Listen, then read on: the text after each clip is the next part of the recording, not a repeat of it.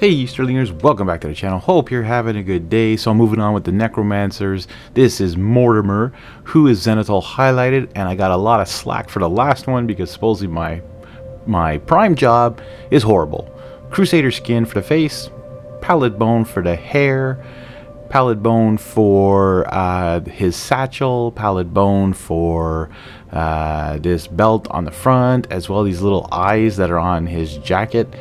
Yeah, so coming back to the whole slack about my primer, yeah, I think there was something wrong with my spray can of white. I thought I did a good job, but then when I did the contrast paints on the last Necromancer, I just found it looked awful, to be honest. Uh, in the end, though, with the speed paints, you'll want to see till the end. I find this model turns out looking so much better. Holy white now for that scarf. Uh, a little bit of sand golem now. We're going to be doing the sheaths of the swords.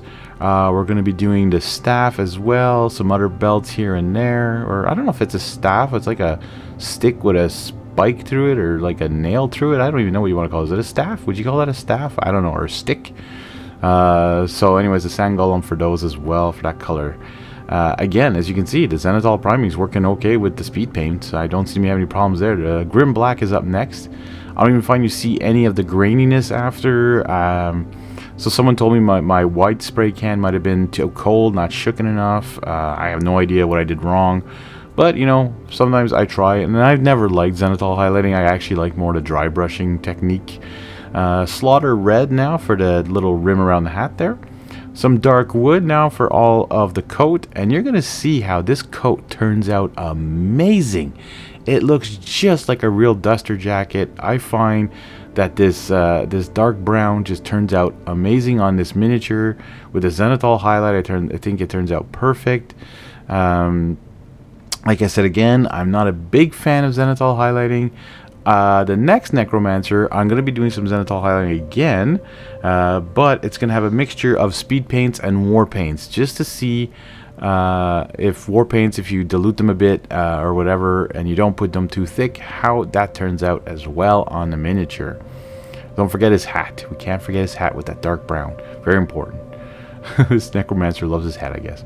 Filthy cape now. So this is just a war paint. We're just going to be doing some of the undershirt there and some of the under garments or whatever that is. Just like, I think it's an undershirt or whatever. Just little spots here. We're going to be doing also uh, the sleeves of the shirt and the uh, pants as well. Now, if I look at his right arm, and when I saw it drying after, it almost looked like more like muscles. So that might be skin instead of uh, clothing. I'm not 100% sure.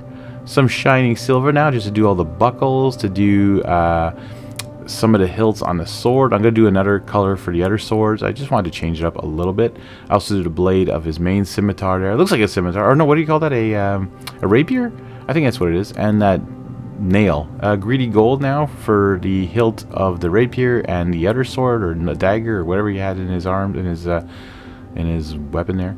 Pure red. Now we're gonna be doing all these little eyes. Okay, this is gonna be fun. Ice storm is next, like a blue, and then scaly hide has got a little bit of green. So he's got blue, red, and green eyes, and a little dab of black just in the center to make it really look like eyeballs. And then to top that off, once it's really well dry, gloss varnish and they're to make those eyes pop and make them look shiny and make them look like eyeballs for real. And there you have it, folks. Mortemyr is painted, ready for a table, and look how much better he turns out. There is still some of the graininess, but not as much as that contrast paint.